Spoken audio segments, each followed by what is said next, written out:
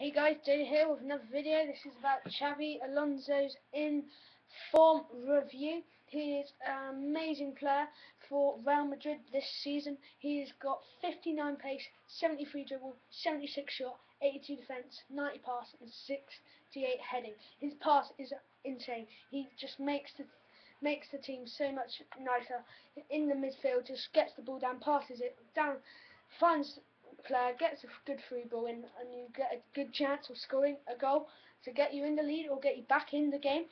But also Xabi Alonso has got four-star weak foot and two-star skill moves. But that two-star skill moves, you might think, oh, that means you don't really want him because of two-star skill moves. But his his pass, his work rate is insane. His work rate, he works so hard to get back, defend, and he helps the um, team go forward and attack as well. He's an outstanding player. He's 88 overall. He's a really good player. He's just insane. He's going for quite a lot of money on the market and he's a really good player.